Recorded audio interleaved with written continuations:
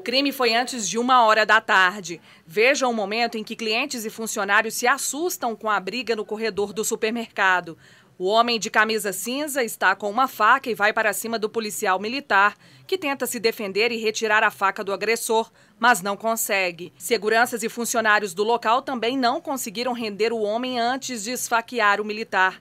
O policial Denner Henrique de Oliveira levou dois golpes. Um atingiu o tórax e perfurou um dos pulmões, e o outro o pescoço. Ele foi levado para o Hospital João 23. De acordo com a polícia, os moradores em situação de rua, Wellington Teixeira, de 34 anos, suspeito de ferir o policial, a esposa dele e outros dois homens de 26 e 37 anos, foram encontrados em uma vegetação próxima ao local do crime. A faca e um espeto de churrasco foram apreendidos.